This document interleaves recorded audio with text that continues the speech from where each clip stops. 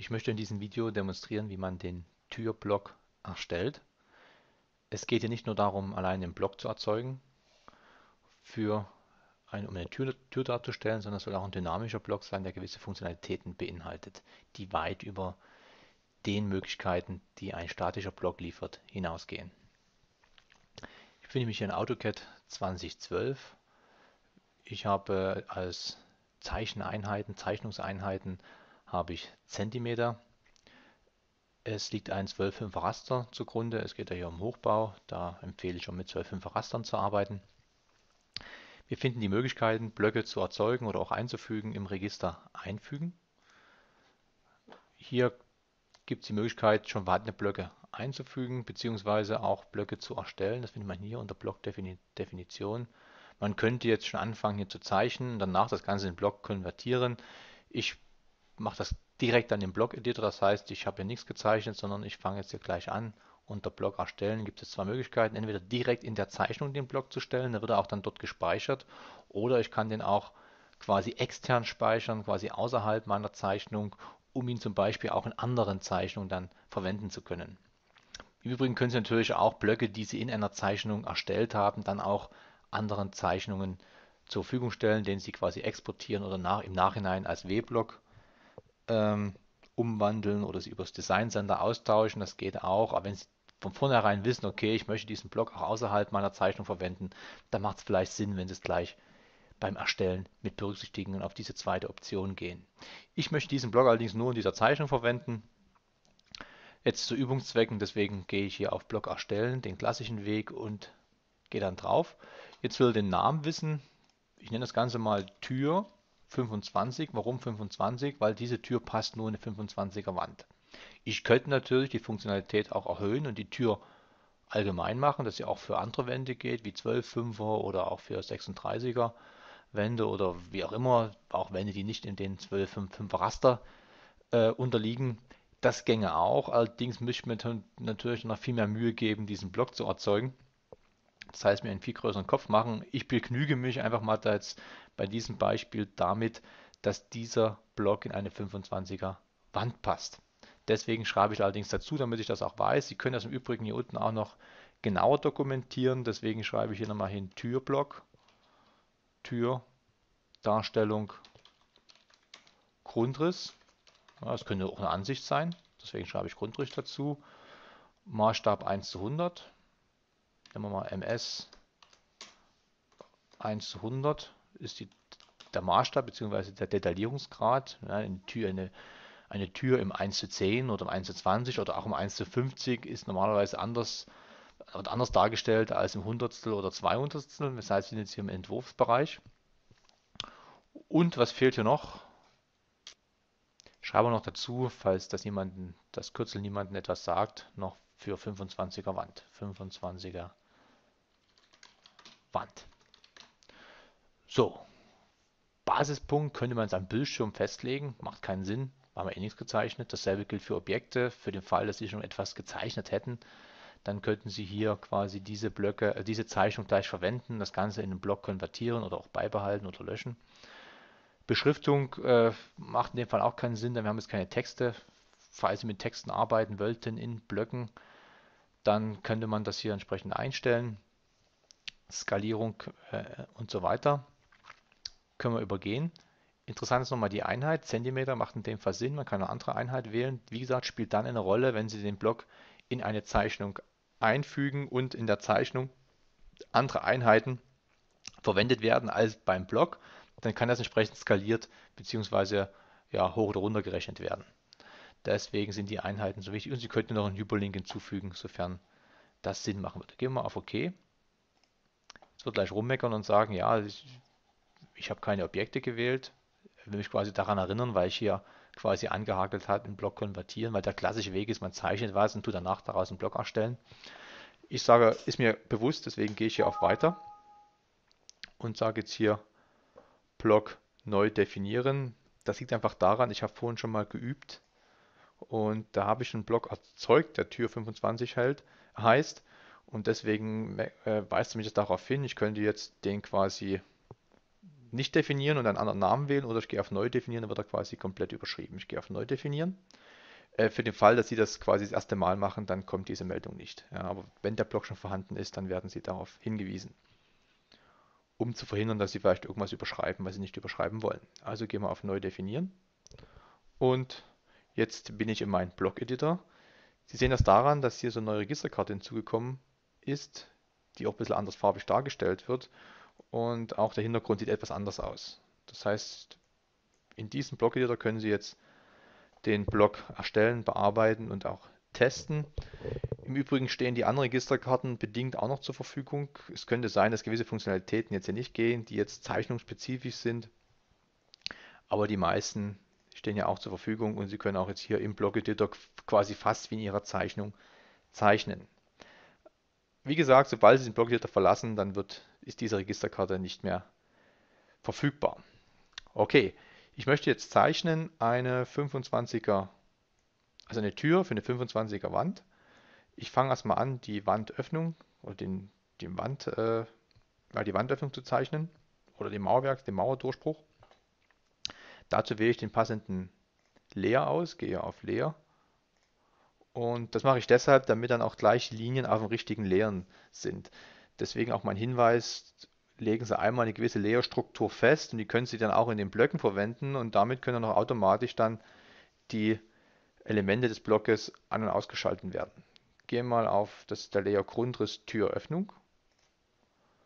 Der ist jetzt aktuell, dann gehe ich hier auf Linie und sage mir, okay, das ist immer ein Einfügepunkt, das heißt, hier ist mein, meinetwegen meine Wand. Ich tue das immer oberhalb der Wand einfügen also auf der Innenseite der Wand, wenn man so will. Und gehe dann hier auf diesen Punkt und sage 25er Wand und wiederhole das Ganze nochmal, wiederhole Linie, gehe dann hier rüber auf die 75. Ja, Sie sehen, ich arbeite jetzt hier im Raster. Das ist mein Ursprung. Das ist übrigens ein lokales BKS, was jetzt nur für den Block gilt. Das ist quasi mein Einfügepunkt dann später in der Zeichnung, ist dieses, dieser Ursprung. Und gehe jetzt von hier quasi 75 nach rechts, und da ich im Raster arbeite, kann ich mir jetzt hier irgendwelche Koordinateneingaben sparen. Ja, das wäre jetzt quasi meine Wandöffnung. Stellen Sie sich einfach vor, dass hier meine Wand ankommt. Ja, jetzt wird hier geöffnet und hier geht die dann weiter. Hier drüben. Gut, was wir brauchen, ist das Türblatt. Das geht nach hier oben. Das ist allerdings auf einem anderen Layer, denn ich möchte später die Möglichkeit haben, meinetwegen nur die Öffnung darzustellen und die Türen auszublenden. Deswegen wechsle ich nochmal den Layer und habe hier nochmal Grundriss Tür. Und jetzt kommt hier mein Türblatt. Das ist im Übrigen auch auf einem anderen, nicht nur auf einem anderen Layer, sondern auf einer anderen Strichstärke wird das Ganze gezeichnet. Diese Linien sind, haben dieselbe Strichstärken wie die Wände, während jetzt diese, das Türblatt etwas dünner gezeichnet ist. Und das ist auch wieder 75 hoch. So, das wäre jetzt mein Blog und ich gehe jetzt mal hier auf Blog Editor schließen. Änderung speichern, Tür sage ich mal ja. Und momentan nichts zu sehen. Ich bin wieder in meiner Zeichnung, weil Registerkarte ist weg. Und ich könnte jetzt den Block einfügen. Um das mal zu zeigen, zeige ich mal schnell eine 25er Wand. Das könnte zum Beispiel meine 25er Wand sein. Der Form halber ende ich nochmal den Leer ab, damit Sie auch den Unterschied sehen. Das ist jetzt Grundriss, meinetwegen Innenwand. Und möchte jetzt hier meinen Block einfügen. Gehe also auf Einfügen. Dann sehe ich hier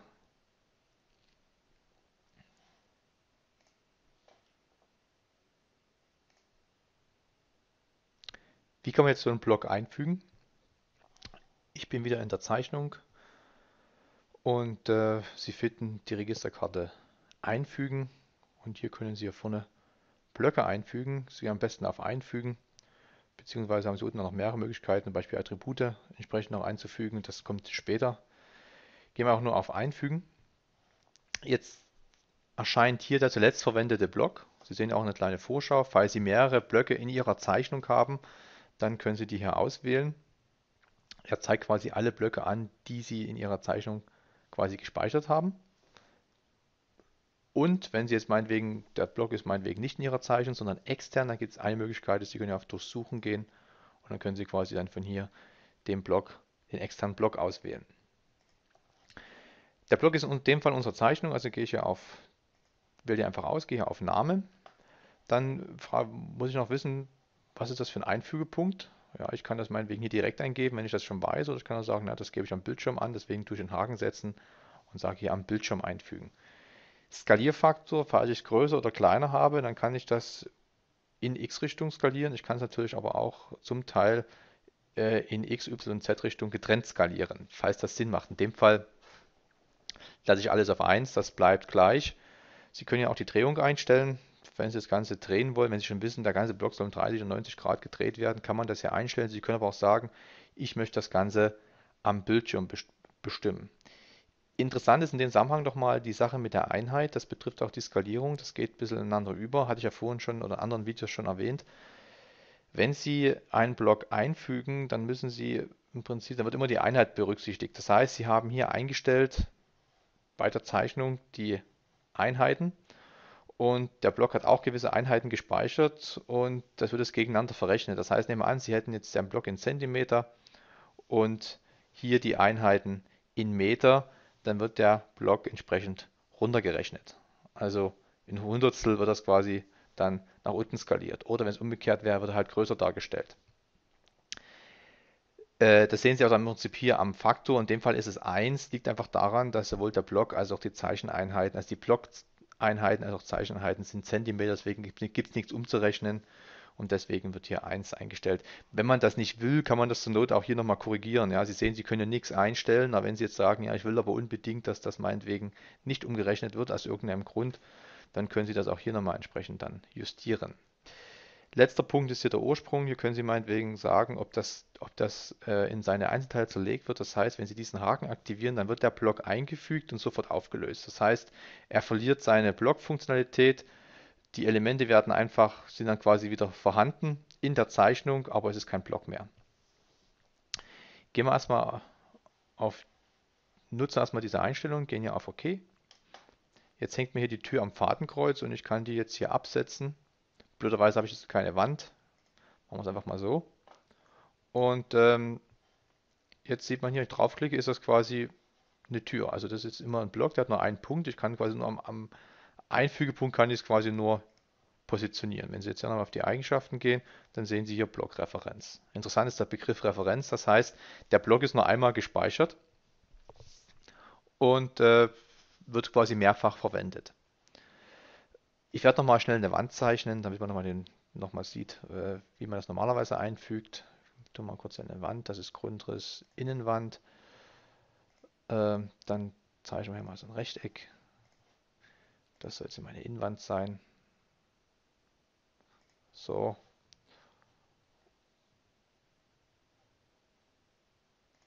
Oh, wird gleich zwei gezeichnet. Wie ich das gemacht habe, ist mir ganz etwas unklar. Gut. Dann gehen wir nochmal auf Einfügen.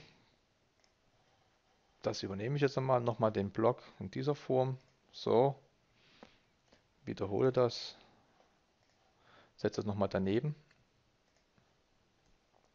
Man kann das, glaube ich, kaum erkennen. Ich mache mal das Raster aus, dann sieht man das besser. So, das war jetzt hier meine Tür. Und äh, jetzt könnte man das Ganze noch verändern. Also was heißt verändern, können Sie eigentlich gar nichts. Das sieht man unter anderem der Block. Sie, sehen, das ist, äh, hängt quasi jetzt hier an unserem Basispunkt. Ansonsten können Sie für das Block nur, wird das Block Element oder die Blockelemente als ein Element in der Zeichnung betrachtet. Ändern können Sie es eigentlich nur, indem Sie es entweder im Block-Editor bearbeiten. Ich mache das mal, falls Ihnen einfällt, Sie wollen was ändern. Dann gehen wir rechten Maustaste drauf, gehen hier auf Block-Editor und könnten jetzt hier das Ganze noch verändern. Was ich mal machen werde, ich werde den Bogen noch hinzufügen. Also ich gehe jetzt hier auf Start, dann auf Bogen. Ich nehme jetzt hier Bogen Startpunkt, Mittelpunkt, Endpunkt und zeichne jetzt noch den Bogen, check erstmal vorher nochmal den Leer, ob der passt. Das ist Leer 0, das ist nicht so gut. Das ist jetzt Leer Grundriss Tür. Und was will er zuerst wissen? Er will den Startpunkt haben. Ja, das geht jetzt quasi wie so ein Kreis normalerweise gezeichnet ist. Der erste Quadrant, hier ist der Nullpunkt, hier ist quasi 0 Grad, 90 Grad etc. Also fange ich jetzt hier an. Von hier und hier oben ist mein Endpunkt. Also müssen immer so einen Bogen zeichnen, wie Sie im Prinzip auch den Kreis kennen oder wie, wie auch die Winkel entsprechend definiert sind. Also hier 0, 0 Grad, 90 Grad, 180, 270, 360, also in gegengesetzter Uhrzeigersinn. des Uhrzeigers. Okay, jetzt haben wir es verändert. Jetzt gehen wir auf Blockeditor schließen. Er sagt jetzt, dass wenn wir was verändert haben wollen, wollen wir das speichern. Sagt mal ja. Und Sie sehen, es ist überall jetzt in allen unseren Referenzen wird das entsprechend abgebildet. Und Sie sehen, das ist natürlich auch ein großer Vorteil, wenn Sie mit Blöcken arbeiten. Das heißt, äh, Sie können dann die Blöcke verändern und müssen das dann immer mal neu machen. Sprich, nehmen wir an, Sie hätten jetzt eine Zeichnung mit 100 Türen und Ihnen fällt meinetwegen dann ein, dass Sie in, den, in dieser Darstellung etwas ändern wollen, dann können Sie das quasi dann, noch, müssen diese Änderung noch einmal vornehmen und das wird quasi entsprechend dann in allen Abbildungen oder in allen Referenzen dieses Blockes dargestellt. Weil wie gesagt, der Block ist nur einmal gespeichert und wird einfach nur mehrfach dann in der Zeichnung verwendet. Ich möchte jetzt nochmal ganz kurz demonstrieren, was passiert, wenn ich jetzt den Block zerlege. Ich mache das hier einfach nochmal. Ich kopiere mir jetzt mal den Block. Ich könnte ihn auch neu einfügen, aber ich kopiere ihn, setze ihn mal drüben ab. Und es gab natürlich auch die Möglichkeit, den zu zerlegen. Momentan ist es ja immer noch ein Element, also quasi eine Referenz, die kann man nur ändern über den Block-Editor. Ich möchte allerdings das Ganze jetzt zerlegen in die einzelnen Bestandteile. Also gehe ich hier auf Sprengen, das ist dieser Befehl, Start, Sprengen und wähle das Objekt aus und mit rechter Maus beende ich die Auswahl. Sie werden jetzt denken, nichts passiert, allerdings wenn Sie draufklicken, sehen Sie jetzt, ist das Ding in Einzelteile zerlegt und ich könnte jetzt das Ganze verändern. Aber aufpassen, es ist kein Block mehr. Das heißt, wenn ich jetzt auf meine Blöcke gehe und hier wieder was ändere, also ich gehe auf Block Editor und füge jetzt mal noch irgendwas hinzu, zum Beispiel hier einfach nur testweise mal so eine Linie. Machen wir mal so eine Linie, wenn man die besser sieht. Macht jetzt keinen Sinn, aber nur um das zu demonstrieren. Sagen wir ja, wollen wir speichern. Dann sehen Sie, hier ist es dazugekommen. Das hat funktioniert. Allerdings hier, äh, das ist diesen gesprengten Block, wird dadurch im Prinzip nicht mehr äh, davon beeinträchtigt. Das heißt, wenn Sie einen Block sprengen, dann verliert er im Prinzip seinen Bezug zu seinem Original, also die Referenz nicht mehr vorhanden, sondern es wird einfach nur die, die Elemente dieser Referenz werden quasi in Ihre Zeichnung hineinkopiert und äh, Sie können sie dann verändern. Allerdings haben Sie ja nicht mehr diese Funktionalität. Also immer entscheiden, muss ich sprengen, muss ich nicht sprengen, immer vom Fall zu Fall abhängig. Im Übrigen können Sie das direkt auch bei der Eingabe machen, beim Einfügen des Blogs. Ich zeige das nochmal. Sie gehen ja auf Einfügen Bloggen können hier auf Ursprung gehen. Da wird der, wird der Block quasi eingefügt und gleich gesprengt. Jetzt setze ich das hier ab und Sie sehen, wenn Sie jetzt hier drauf gehen, ist es kein Block im Vergleich zu hier. Sie erkennen einen Block daran, wenn Sie draufklicken, wo es mehrere Elemente sind, gibt es nur einen Punkt oder Sie gehen mal hier auf die Eigenschaften, dann sehen Sie hier Blockreferenz. Ja, während das hier drüben, das sind dann einzelne Elemente, wie zum Beispiel eine Linie. Sie kommen auf diese Elemente nur, indem Sie über den Block-Editor oder über, indem Sie sprengen. Wenn Sie es im Block-Editor machen, dann ändern Sie quasi Ihren Block, das heißt auch alle Referenzen. Wenn Sie sprengen, dann wird quasi nur dieser einzelne Block quasi zerlegt und dann können Sie dort die einzelnen Elemente bearbeiten. So viel zum Einfügen von Blöcken.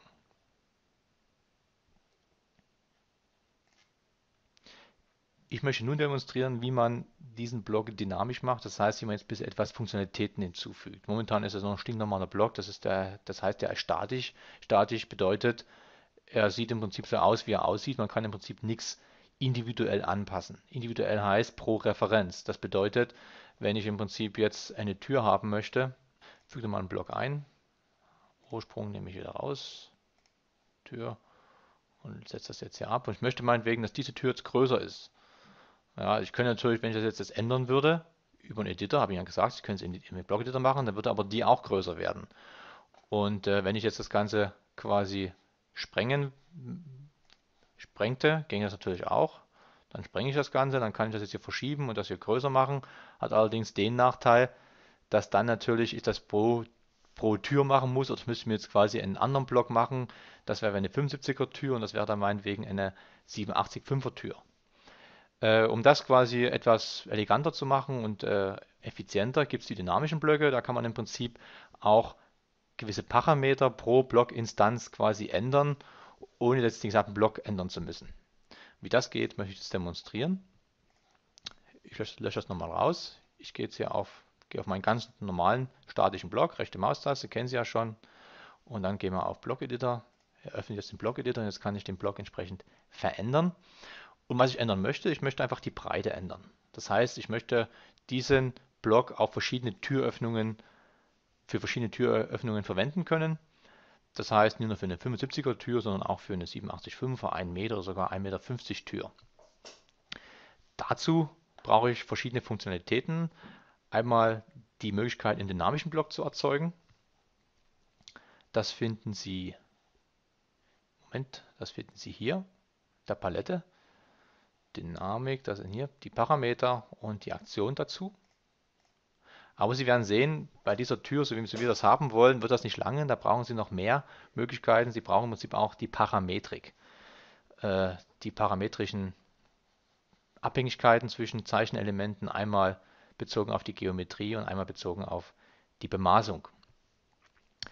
Äh, wir fangen mit der Parametrik an, weil das macht sich immer von der, von der Reihenfolge her immer ein bisschen einfacher, wenn Sie erst die Constraints, sprich die Abhängigkeiten setzen zwischen den Elementen und danach die dynamischen Eigenschaften, die dynamischen Parameter definieren.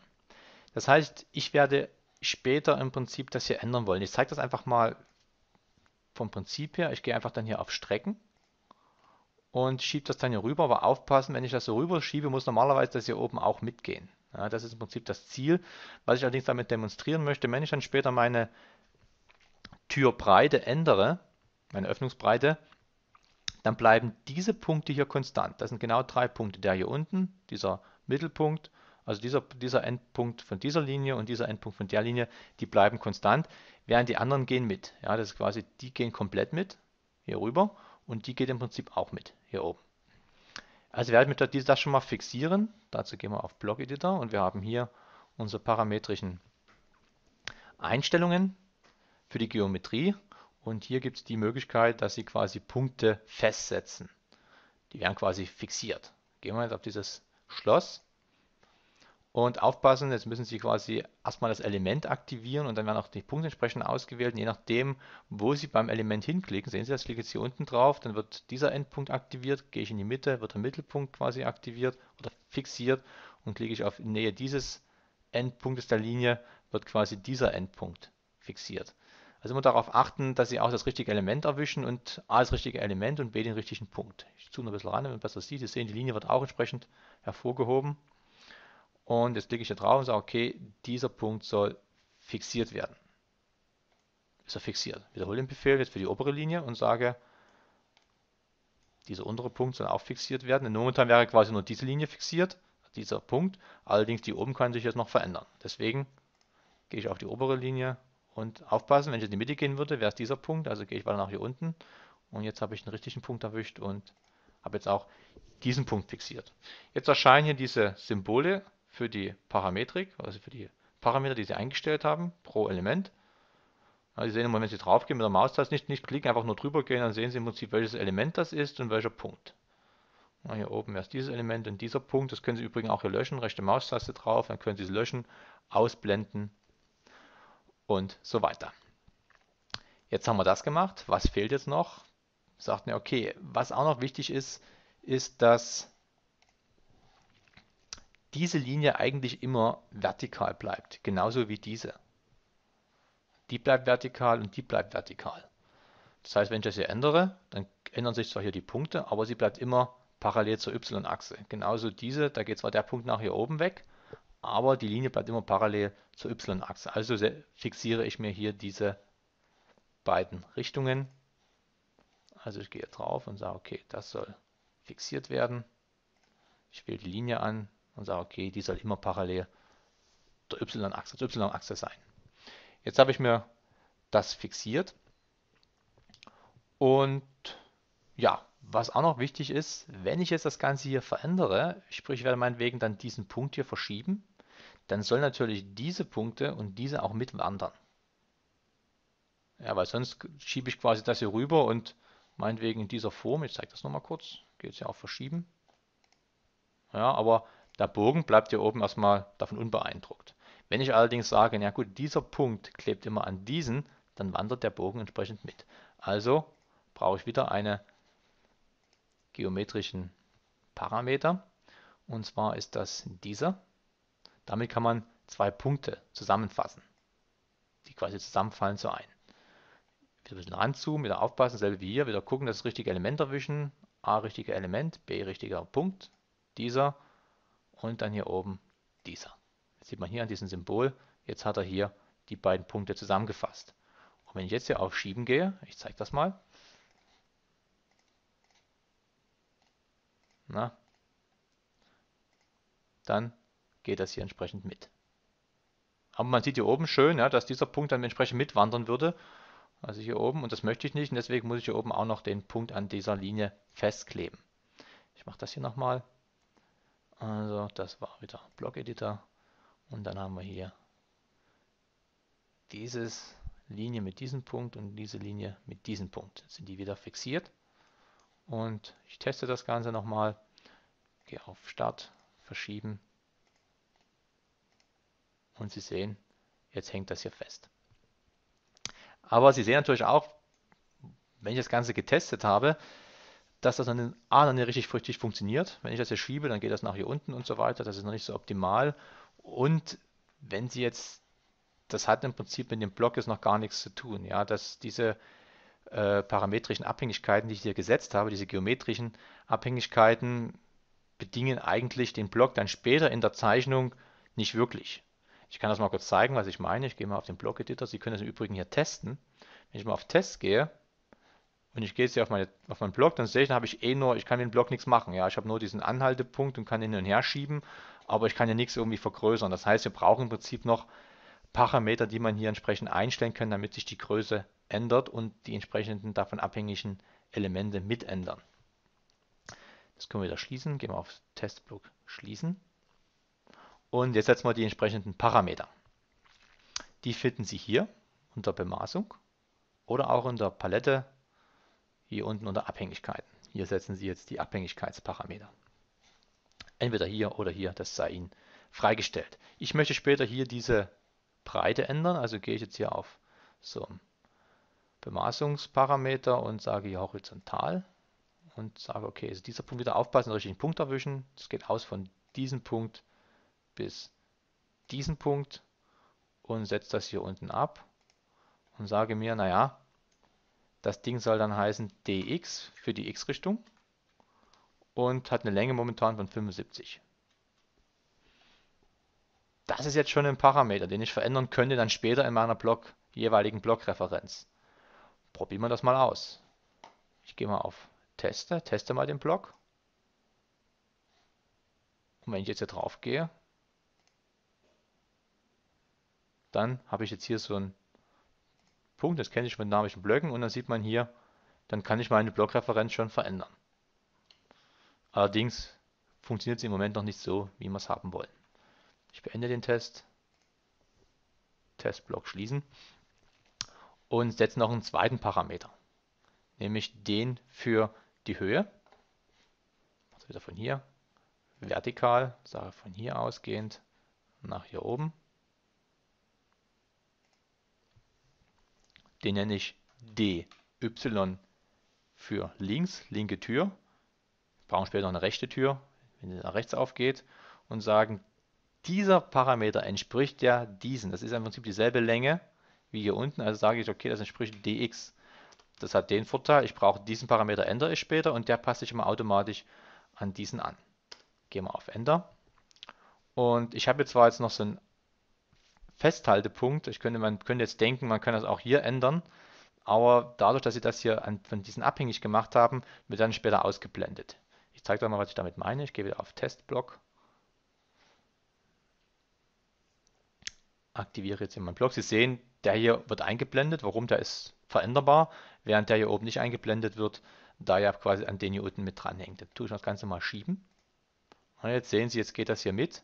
Allerdings auch noch nicht so, wie wir es haben wollen. Im Übrigen, durch die geometrischen Parameter, die wir gesetzt haben, werden gewisse Eigenschaften unserer oder Beziehungen zwischen den Elementen erhalten. Hätten wir die nicht gesetzt, dann würde er nur diesen Punkt hier verändern, allerdings würden die, die Linien nicht so mitwandern, wie wir das haben wollen. Also diese parametrischen Abhängigkeiten sind wichtig, damit sie gewisse Zeicheneigenschaften bzw. gewisse Beziehungen zwischen den Elementen erhalten können. Okay, was es noch fehlt, ist hier noch ein Parameter für den Radius, damit der Kreisbogen sich auch anpasst. Also gehe ich hier nochmal auf, mache ich noch von hier auf Radius. Er will jetzt wissen, welcher Kreis, das ist dieser. Und ich setze das Ganze jetzt hier ab und den nenne ich jetzt Rad links und der entspricht auch meinem dx-Parameter. Das heißt, ich ändere dann später in meiner Referenz diesen, nur diesen Parameter und die passen sich automatisch an. Und mit diesen Constraints oder mit diesen geometrischen Abhängigkeiten habe ich jetzt einfach die Beziehung zwischen den einzelnen Zeichenelementen fixiert, sodass die sich dann entsprechend dieser Rahmenbedingungen nur ändern können. Testen wir das Ganze jetzt nochmal. Gehe auf Block Editor, nicht schließen, sondern testen vorher. Klicke hier auf meinen Block und fahre jetzt rüber und Sie sehen, das passt super. Er fährt jetzt im Prinzip, macht meine Tür größer oder kleiner und machen wir noch eine kleine Schönheitsoperation. Das heißt, was noch schön wäre, wenn jetzt das Ganze noch im 12.5er Raster funktioniert. Wenn man das wünscht, dann kann man das auch einstellen. Ich zeige, wie das geht. Sie gehen nochmal auf Schließen und justieren nochmal den Parameter. Dieser Parameter soll nicht beliebig geändert werden können, sondern wir wollen diese Änderung etwas einschränken. Dazu klicken wir den Parameter an, gehen hier auf Eigenschaften, haben hier die Möglichkeit, den Abstandstyp zu definieren. Ich sage mal Inkrement.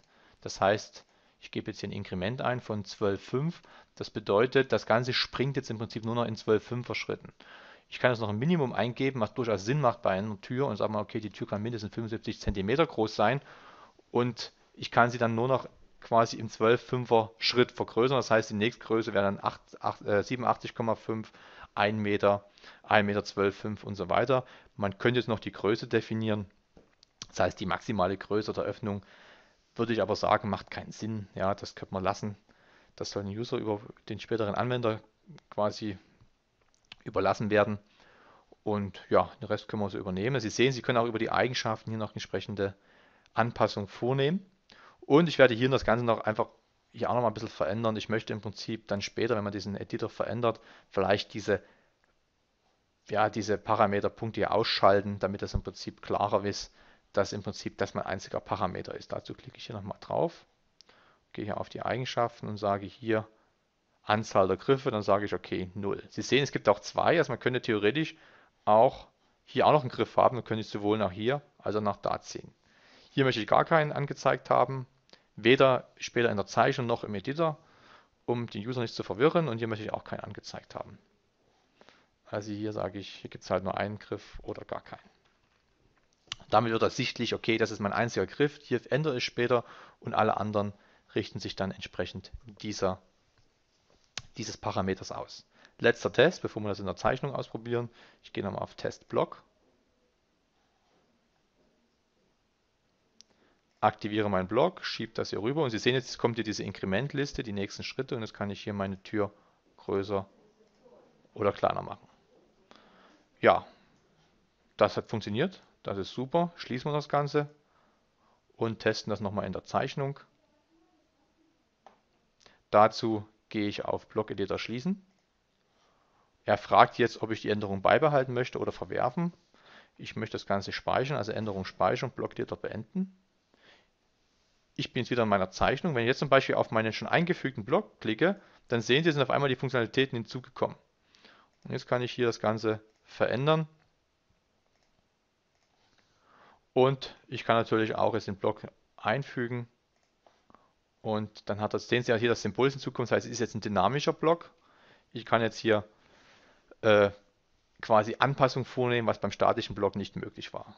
Gehen wir auf OK, setze das Ganze hier ab und könnte jetzt hier das entsprechend verändern. Ja, so viel zu unserem dynamischen Block.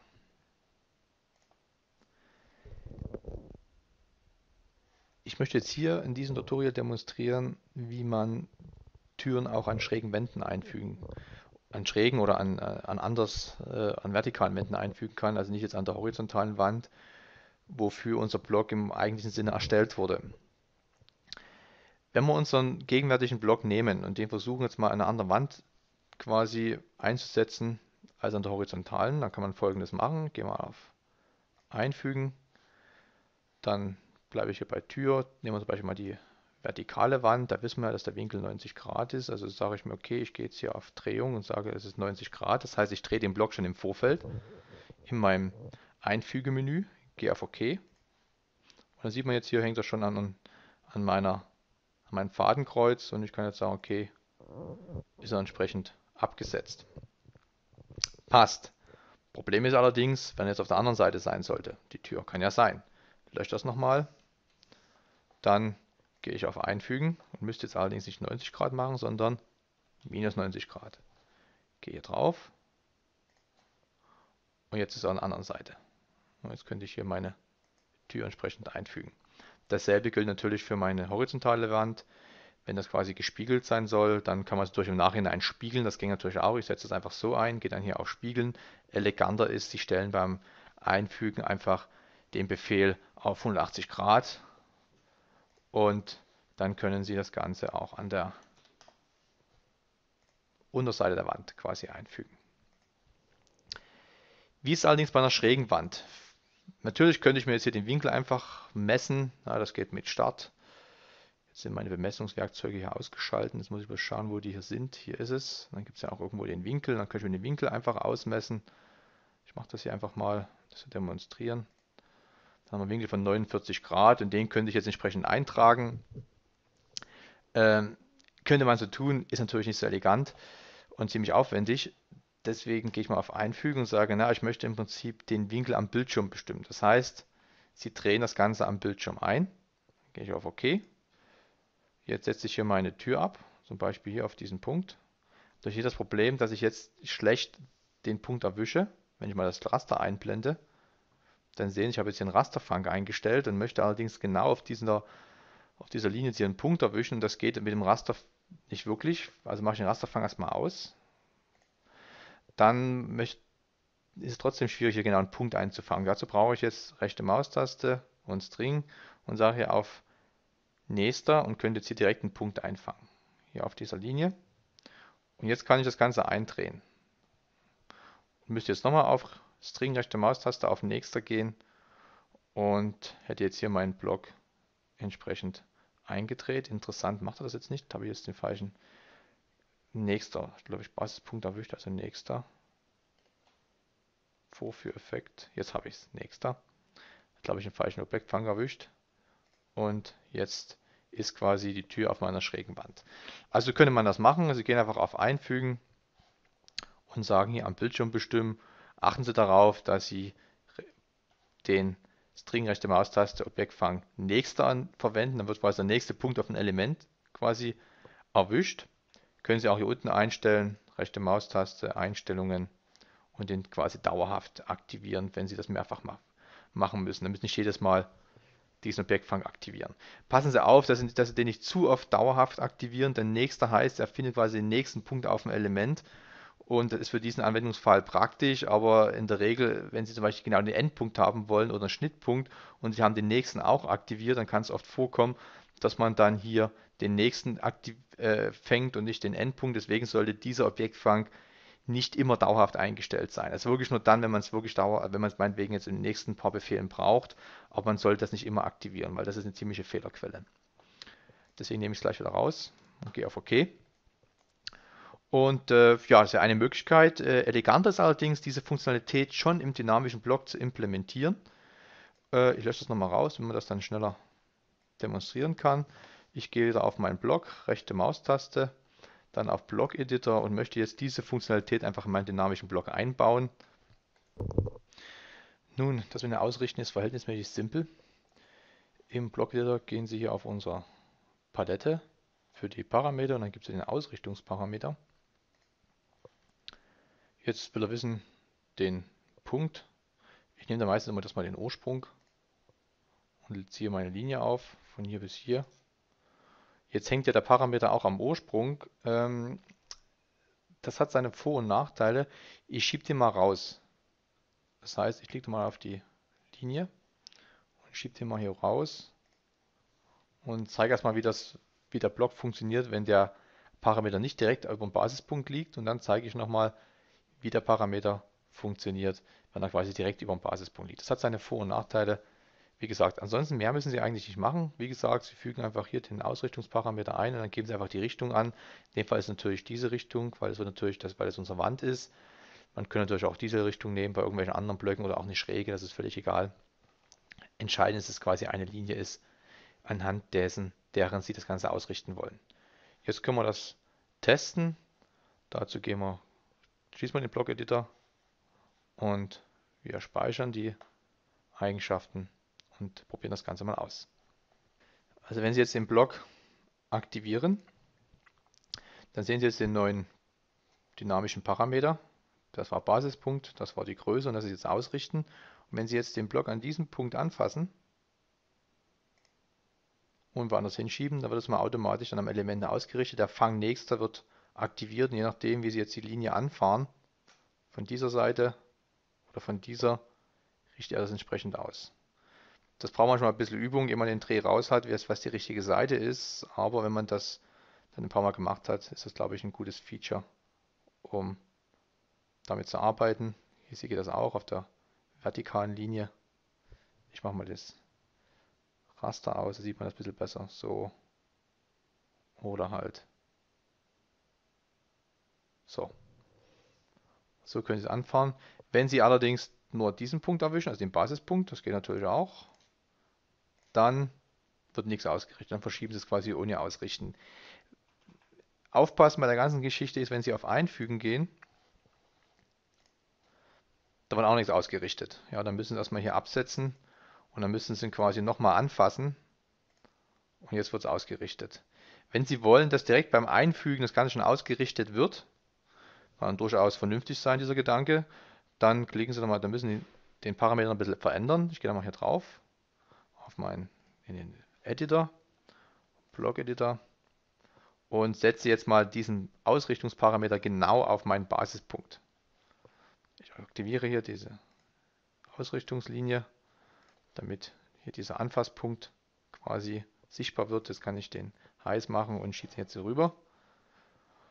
Genau auf meinen Basispunkt, schließe meinen Block-Editor, spiele das nochmal aus, gehe auf Einfügen, aufpassen, dass wir keinen Winkel eingestellt haben, weil sonst kann natürlich das Ganze nicht mehr drehen. Geht sie auf OK. Und jetzt ist es quasi direkt am Basispunkt, jetzt wird quasi direkt beim Einfügen das Ganze schon ausgerichtet. Hat natürlich den Nachteil, wenn Sie das Ganze jetzt einmal ohne Ausrichtung verschieben wollen, dann ist das schwierig. Ja, dann müssen Sie das mit einem Beschiebebefehl machen, dann müssen Sie auf Verschieben gehen und halt einen Punkt erwischen, der jetzt außerhalb vom Basispunkt liegt, weil es fällt quasi Basispunkt und Ausrichtungsparameter zusammen. Und das bedeutet, sobald Sie das Ding hier aktivieren und hier drauf gehen, dann wird das auch entsprechend ausgerichtet. Ja, so viel zum Ausrichten eines Blockes mithilfe dynamischer Parameter. Ich möchte jetzt meinem dynamischen Block noch ein Feature hinzufügen, wie man zum Beispiel die Öffnungsrichtung der Tür ändern kann. Das heißt, die Tür soll nicht nach rechts aufgehen, sondern in dem Fall nach links. Man kann das natürlich auch mit den normalen Zeichenoperationen machen, indem man den Block einfach spiegelt. Ich das mal kurz demonstrieren. Ich gehe auf Spiegeln. Er fragt jetzt, was spiegeln? Diesen Block. Beende meine Objektauswahl mit der rechten Maustaste und gebe jetzt den ersten Punkt der Spiegelachse an.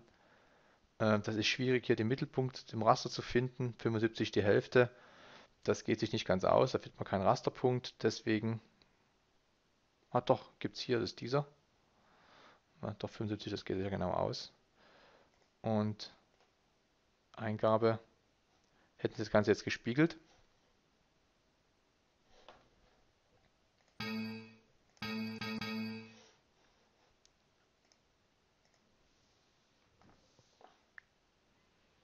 Also wir gehen auf Spiegeln, wählen die, den Block aus, beenden die Eingabe mit der rechten Maustaste, geben jetzt den Punkt der Spiegelachse an, entweder Mitte zwischen zwei Punkten oder wir nehmen hier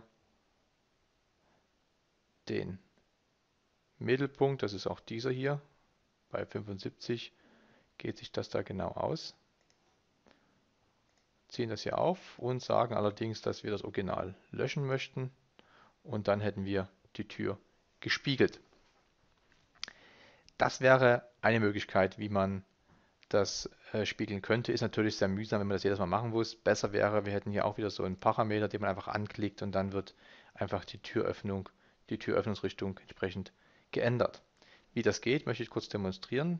Rechte Maustaste auf den Block, Block Editor und Äh, jetzt können Sie wieder den Block verändern.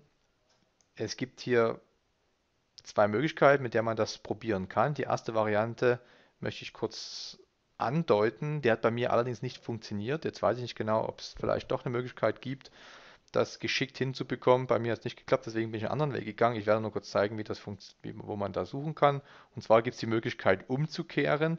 Damit können Sie quasi so eine Spiegeloperation parametrisieren. Das ist diese. Äh, hat bei mir nicht funktioniert. Ich vermute, das liegt deshalb, das liegt daran, dass aufgrund dieser Abhängigkeiten, die man hier definiert hat, dass die nicht so ohne weiteres mitgespiegelt werden können. Aber vielleicht gibt es eine Möglichkeit, das doch hinzukriegen. Deswegen bringe ich Sie mal auf die Idee, das mal auszuprobieren. Vielleicht gelingt Ihnen das.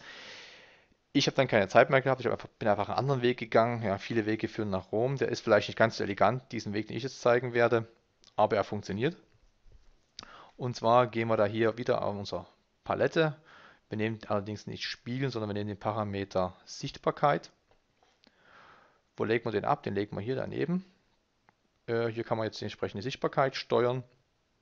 Momentan sind noch keine Sichtbarkeiten, keine Sichtbarkeitsebenen definiert, deswegen kommt hier dieses Zeichen. Im Übrigen können Sie auch die Namen der Parameter verändern, indem Sie einfach den Parameter anklicken und dann können Sie hier unter Eigenschaften das hier entsprechend überschreiben und noch andere Dinge ändern. Nicht viel, aber immerhin gibt es da einiges, was Sie ändern können. Äh, dasselbe geht auch hier in unserer Funktionspalette für den, den Parameter Manager. Hier sind quasi alle Parameter abgebildet und hier kann man auch gewisse Anpassungen vornehmen. Ja, was wir jetzt noch machen müssen, ist, dass wir das Ganze hier spiegeln. Dazu gehe ich auf Start. Das haben wir eben gerade gemacht. Also wir gehen auf Spiegeln, wählen das, die Elemente zum Spiegeln aus. Das ist einmal das Türblatt und der Bogen für die Öffnungsrichtung. Dann rechte Maustaste, Objektauswahl beenden, Spiegelachse, das ist diese und wir spiegeln das hier rüber. Aufpassen, wir löschen diesmal nichts, sondern wir tun beide erhalten. Wir tun nur wechselseitig einen ausblenden, deswegen nein. Und ja, jetzt müssen wir einfach bloß noch die Ebenen festlegen und definieren, was auf der Ebene zu sehen ist. Allerdings ein, zwei Punkte habe ich noch vergessen, die sollte ich vorher noch machen. Das empfiehlt sich, das vorher zu machen und nicht im Nachhinein nämlich noch die Parameter festzulegen hier für meine gespiegelte Tür, weil die ist momentan noch nicht vollständig parametrisiert. Das ist zwar mitgespiegelt worden, die zwei Sachen, aber hier müsste man noch mal etwas nachsetzen. Und zwar machen wir das noch. Ich lege noch den Parameter fest für den, für den Radius. Das wäre Radius rechts in dem Fall. Also Block Editor. Hier hat man die Radien, das war dieser. Klicke hier auf meine und lege den hier drin ab. So ungefähr. Den nenne ich Rad rechts und der entspricht auch wieder dem dx. Jetzt teste ich das Ganze erst nochmal, bevor ich jetzt hier anfange, das mit der Sichtbarkeit, ob das überhaupt funktioniert. Das müsste natürlich, wenn ich den Parameter ändere, diese Tür entsprechend hier mitwandern. Also ich gehe auf Test und klicke auf meinen Block.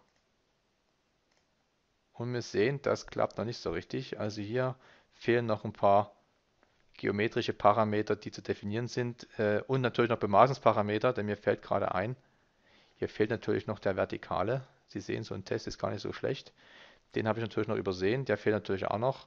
Ich habe natürlich noch diese Länge, die Länge dieser Seite noch nicht mit dieser Länge verbunden. Das machen wir noch.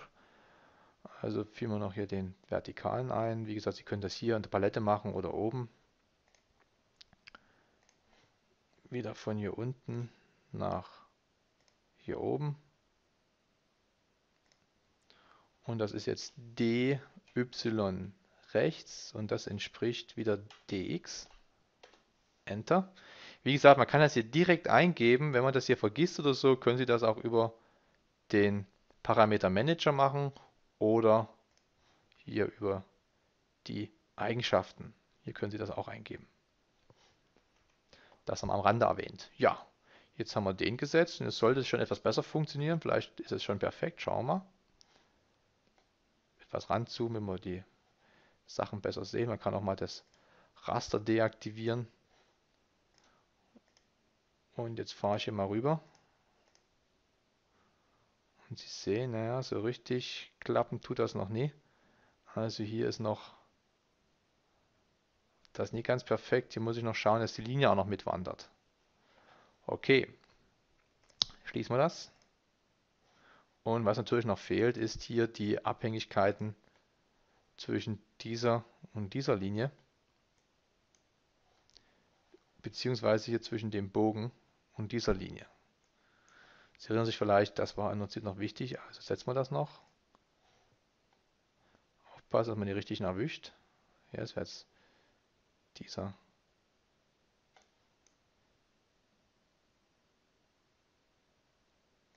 Dieser. Dieser. Und dasselbe nochmal mit dem Bogen nach da. Beziehungsweise bei dem Bogen könnte man ja auch sagen, na gut, der Bogen ist ja eigentlich immer hier an dieser Position. Ja, machen wir es mit den Abhängigkeiten. Das hat jetzt bisher funktioniert, machen wir keine Experimente. Also ich sage jetzt hier, das ist diese Linie. Ich muss den Objektfang ausschalten, den Rasterfang ausschalten.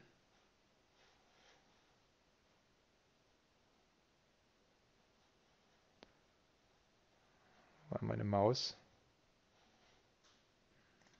Also aktivieren wir nochmal, tun wir die beiden Linien nochmal miteinander verbinden.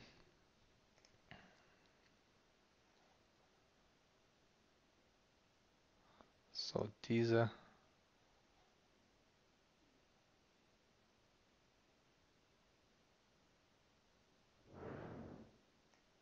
Diese. Schau, es hat geklappt. Was momentan ein bisschen ungünstig ist, dass, äh, dass die Parameter schon eingeschaltet sind. Deswegen ist es immer schwer, jetzt wirklich die Zeichenelemente zu erwischen, nicht die Parameter. Ähm, für den Fall, dass es nicht geklappt hat, muss ich jetzt die Parameter nochmal ausschalten. Deswegen auch äh, ganz am Anfang, wo wir mit dieser Tutorial angefangen haben, ein Hinweis, tun Sie jetzt möglichst erst die äh, geometrischen Parameter setzen, bevor Sie die Bemaßungsparameter setzen. Das erleichtert die Arbeit. Testen wir das Ganze. Mit etwas Glück hat es jetzt funktioniert. Ansonsten sind die Parameter nicht mitgekommen. Oh ja, man sieht man schon, dass dir der das Vernetzen nicht geklappt hat. Ja, also hier sollte ich nochmal schauen, dass ich das ausschalte. Also gehe ich nochmal auf Schließen und schalte mal hier diese Parameter aus. Da gibt es im Prinzip nur einen Weg, der mir jetzt hier bekannt ist, dass ich einfach mal diese Parameter auf den Layer lege, den ich auch ausschalten kann. Ich habe dafür in meiner Zeichnung immer so einen Layer, der heißt Hilfskonstruktion. Da haue ich alles drauf, was im Prinzip nicht gedruckt werden soll und was eigentlich nur ja, zu Hilfszwecken genutzt ist, ist dieser hier, den schalte ich mal aus. Und jetzt lege ich all die Parameter drauf, die, mir, die mich jetzt hier so nerven. So, dann gehen wir hier auf Eigenschaften und sagen hier Layer Hilfskonstruktion. So, jetzt habe ich das mal ausgeschaltet. Also man sieht ja auch schön, dass der Punkt nicht mitgekommen ist vor uns. Ja, wir haben überall die Fixierung hier an den Ecken. Das heißt, wir haben die miteinander verbunden. Allerdings ist das hier nicht mitgekommen. Tun wir das noch korrigieren. Also ich gehe auf meinen Block-Editor hier hinten auf die Registerkarte, dann auf den entsprechenden Befehl, gehe auf die Linie, so, dann auf die hier unten, aufpassen, dass nicht den Mittelpunkt erwischen, ne? und diese hier. Und dann haben wir das fixiert. Und machen wir nochmal den Test jetzt. Probieren es aus. Wenn wir Glück haben, hat es funktioniert und wir können die, haben nichts übersehen. Jetzt habe ich noch ein kleines Problem. Ja, äh, meine Hilfskonstruktion ist ausgeschaltet. Ich weiß nicht, ob jetzt funktioniert, weil meine Parameter sind momentan auf dem Leer. Aber das sieht ganz gut aus. Das passt. Ja, das heißt, das hat funktioniert. Was wir jetzt noch machen können, ist unsere Sichtbarkeiten einzustellen. Das heißt, wir müssen jetzt hier noch verschiedene Sichtbarkeitsebenen aktivieren. Dazu gehen wir hier drauf auf den Sichtbarkeitsstatus. Momentan sind beide aktiviert. Was nehmen wir da? Nehmen wir einfach, tun wir den einfach umbenennen, den aktuellen nennen wir einfach links und machen noch einen neuen dazu, Den nennen wir rechts. Und jetzt tun wir noch die Parameter wieder einschalten, damit wir die auch sehen und die entsprechend zuordnen können. Hier muss noch aufpassen, die Linie habe ich vorhin mit erwischt, die sollte ich nochmal rausnehmen aus der aus der aus dem Layer, weil das nicht so gut ist, wenn die mit ausgeschaltet wird. Das ist Layer Grundriss Türöffnung. So, das sollte wieder passen. Weil wie gesagt, die Layer kommen beim Einfügen des Blocks entsprechend mitten, deswegen sollten die auch im Blocken schon passen. Ja, was wir so machen wollen, ist Sichtbarkeit, wie gesagt. Also wir gehen jetzt hier rein, dann haben wir gerade den Ebene rechts aktiviert. Das tun wir quasi definieren, was, was, ist, was, was ausgeschaltet bei der Ebene rechts. Ausgesch unsichtbar wird quasi die linken Einstellungen. Nehmen auch den Parameter mit dazu. Das ist dieser. Okay. Und dann gehen wir hier wieder rein. Jetzt sieht man, das ist quasi ausgeschaltet. Jetzt gehen wir auf links und bei der linken Tür, ah, gerade umgekehrt. War das richtig? Links, rechts ist diese, genau, stimmt, ja. Man sollte rechts und links nicht verwechseln. Jetzt gehen wir zu links. Und bei links wird jetzt quasi diese Tür ausgeblendet. Also gehen wir hier auf Ausschalten und sagen, wir wollen das nicht sehen, das nicht sehen, das nicht sehen und das nicht sehen. Was wir vielleicht noch machen sollten, der Vollständigkeit halber, ist hier noch die Einstellung wegnehmen. Oh, kann man jetzt nicht einstellen. Müssen wir nochmal hier auf den Parameter, auf die Eigenschaften gehen und hier sagen, wir wollen. Ups, was habe ich jetzt hier noch einmal?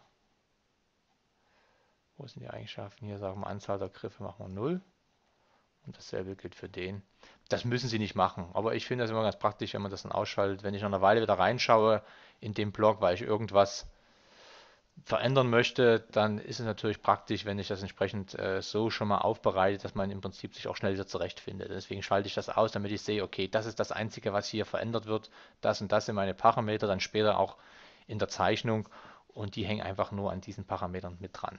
Deswegen ist auch wichtig, dass Sie schauen, dass Sie nicht zu viel Parameter verwenden. Das wird dann nämlich schnell unübersichtlich, vor allen Dingen unnötige Parameter. Das immer, äh, passiert oft, dass man da ja auf Autoabhängigkeiten geht und dann werden zig Parameter hier erzeugt und irgendwann blickt man nicht mehr durch. Ich mache das immer ganz bewusst, dass ich möglichst nur die Parameter erzeuge, sei es geometrisch, sei es Bemaßung, die wirklich notwendig sind. Okay, testen wir das nochmal hier. Das können wir hier gleich testen. Wir schalten das hier mal aus. Jetzt sind quasi nur die sind, wenn Sie hier drauf gehen, werden quasi alle Ebenen angezeigt. Die äh, aktuelle ist quasi scharf und die darunter, oder die nicht aktuelle, wird quasi so ein bisschen ausgeblendet. Ich mache mal das Raster aus, damit Sie das besser sehen. Ja, man sieht es jetzt aufgrund des Hintergrunds sieht man nicht so gut, aber das ist quasi, das ist scharf gestellt und das ist quasi etwas transparent dargestellt und deswegen sieht man das kaum. Sie können aber auch hier sagen, okay, ich möchte es überhaupt nicht sehen. Dann sehen Sie wirklich nur das, was je nachdem, was da gerade ausgewählt wird. Jetzt können wir das Ganze nochmal testen in unserem Blocktest. Und gehen wir mal rein, klicken hier unser Tür an, schieben die mal rüber, das geht noch. Können jetzt hier auf rechts umstellen und schieben das hier nochmal rüber. Ja, das geht auch, auch noch. Wieder zurück. Geht auch und hier können Sie wieder umstellen auf links. Das ist im Prinzip die Funktionalität, die wir haben wollten für unseren Türblock, dynamischen Türblock, sollte man genauer sagen. Wir können jetzt das Ganze hier schließen und natürlich speichern. Änderung speichern, Block wieder beenden und könnten das zum Schluss nochmal hier in unserer Zeichnung ausprobieren, aber das ist natürlich klar, dass es ja auch funktioniert. Ja, so viel zum Erstellen eines Türblocks. Man kann das Ganze natürlich jetzt noch ausbauen und könnte jetzt hier noch sagen, okay, ich möchte meinetwegen hier noch das Ganze erweitern, damit auch meinetwegen andere Türen, äh, also andere Wände auch unterstützt werden, dass man hier noch so ein so ein Parameter quasi auch noch hier unten macht. Ja, wäre eine nächste Möglichkeit. Man könnte das meinetwegen noch besser programmieren, dass man oder besser erstellen, dass man meinetwegen hier so einen Flip macht, dass die Tür nach unten kippt. Ja, das wäre auch möglich. Also hier gibt es noch zig Möglichkeiten, sich daran auszutoben. Ich möchte es damit begnügen. Ich glaube, dass man hier an diesem kleinen Beispiel einmal die Mächtigkeit dieser dynamischen Blöcke verbunden mit, den, mit, der parametrischen, mit, der, mit dem parametrischen CAD kennengelernt hat.